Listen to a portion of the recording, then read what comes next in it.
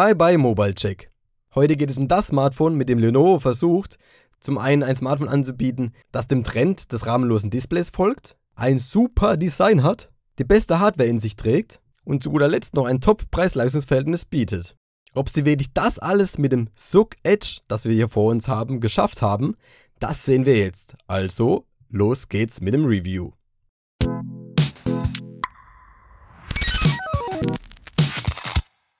Hier haben wir es also vor uns. Und wie sieht es erstmal aus?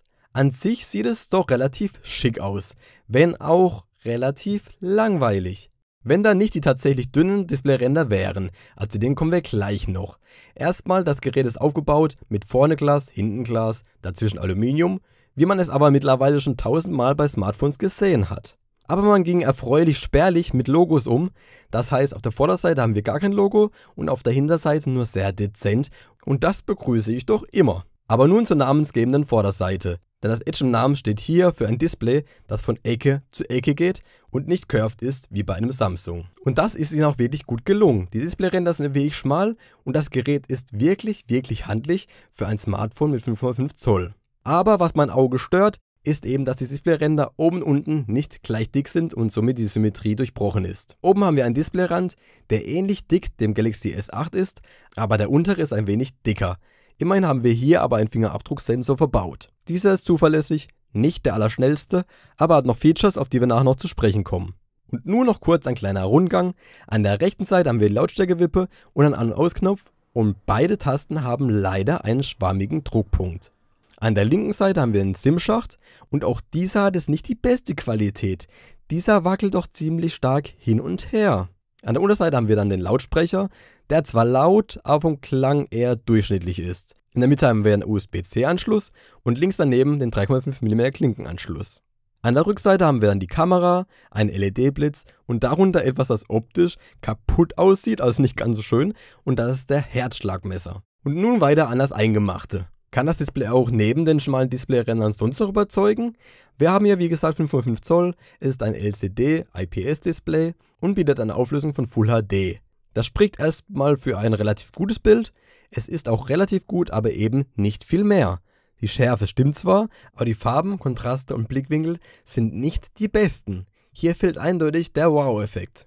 Alles wirkt nicht so lebendig, wie man es von anderen Top-Geräten her kennt. Und des Weiteren hat das Display noch eine Eigenart, die es aus der Masse hervorstechen lässt, neben den Displayrändern. Und zwar ist das Panel sehr langsam.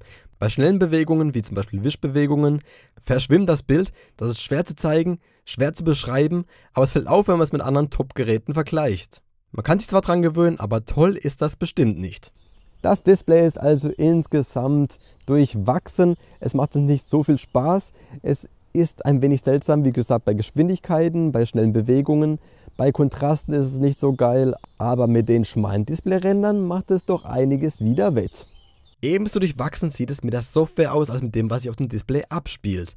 Wir haben hier zwar Android 7, aber es ist überzogen mit der ZUI 2.5. Diese sieht an sich eigentlich okay aus, hat auch kleine Features, wie zum Beispiel durch einen Doppelklick in die Kamera zu kommen, aber merkt, dass das Ganze nicht sehr ausgereift ist, vor allem beim Design. Da wäre zum einen der nicht konsequent durchgezogene Unschärfe-Effekt. Ich meine, mal ist der Hintergrund verschwommen, wie zum Beispiel, wenn man einen Ordner öffnet, mal wird er einfach nur dunkler, mal verändert er sich gar nicht. Das ist sehr eigenartig und nicht gerade konsequent. Und zum anderen muss ich euch das Design vom Lockscreen und Wallpaper zeigen, das standardmäßig eingestellt ist. Denn wer hat sich sowas ausgedacht? Dass das Wallpaper im Lockscreen nur ein kleines Fenster ist und auf den normalen Seiten so sehr verwaschen ist, dass man gar nichts mehr von dem Bild erkennt. Zum Glück aber lässt sich dieser Effekt ausschalten, aber dieser zeugt nicht gerade vom Geschmack der Designer. Zusätzlich ist die Performance der Software nicht gerade die beste, aber dazu komme ich jetzt gleich. Und durch die Software navigiert wird hier ausschließlich mit dem Fingerabdrucksensor. Bei einer kurzen Berührung kommt ihr einen Schritt zurück, bei einer langen Berührung kommt ihr Home und bei einem Wisch über den Fingerabdrucksensor öffnet ihr die zuletzt geöffneten Apps. Und zuletzt sei noch angemerkt, dass die Software nur in Englisch oder Chinesisch zur Verfügung steht. Erstmal, was steht denn für die Performance zur Verfügung?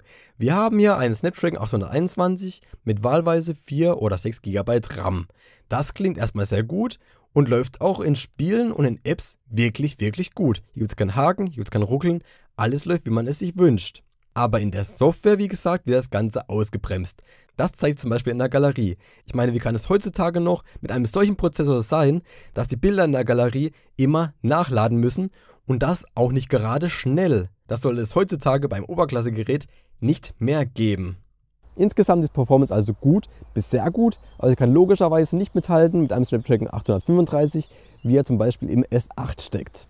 Aber immerhin lässt er das Ganze ziemlich lange benutzen, denn der hier verbaute Akku hat 3100 mAh und liefert eine Screen-On-Time von 4 bis 5 Stunden am Tag und das ist recht ordentlich. Wenn das Display runterdimmt, erreicht ihr sogar bis zu 6 Stunden. Zusätzlich unterstützt er noch Quick Charge 3.0, das heißt, ihr könnt den Akku schnell aufladen, wer dann, dann doch mal schlapp macht. Und ist nun das Thema Kamera genauso erfreulich? Zumindest mal haben wir hier 13 Megapixel und Videos kann das Ganze aufnehmen bis zu 4K. Das klingt okay, aber wir haben hier weder einen optischen Bildstabilisator noch eine offene Blende. Denn die Blende hat hier nur f2.2. Das Ganze ergibt dann, dass bei gutem Licht die Ergebnisse der Fotos gut sind, die Farben sind gut, die Kontraste sind gut, aber bei Videos das Ganze schnell verwackelt und ebenso bei Lowlight das Ganze zu verschwimmen neigt. Außerdem neigt die Kamera sehr leicht zum Überbelichten, das heißt die hellen Bereiche brennen euch gerne mal aus. Hier hilft zwar der HDR-Modus, aber dieser ist so langsam, dass auch dieser wiederum kaum Spaß macht zu benutzen. Und hier könnt ihr noch ein Bild davon machen, wie die Qualität der Frontkamera so ist und wie auch die Qualität des Mikrofons so ist. Immerhin gibt es aber ein klein wenig besonderes Feature und zwar könnt ihr bei einer Auflösung von 720p mit bis zu 960 Bilder pro Sekunde aufnehmen und das ist dann wirklich, wirklich langsam. Ebenso langsam dürfte euch der Speicher ausgehen, mehr oder weniger, denn wir haben hier 64 GB intern und dieser ist leider nicht erweiterbar.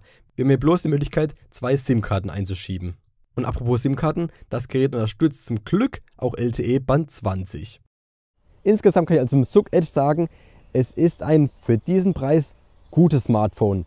Für die Displaygröße ist es wirklich kompakt, das ist wirklich geil, aber das Design ist jetzt eher langweilig, genauso wie auch das Display an sich.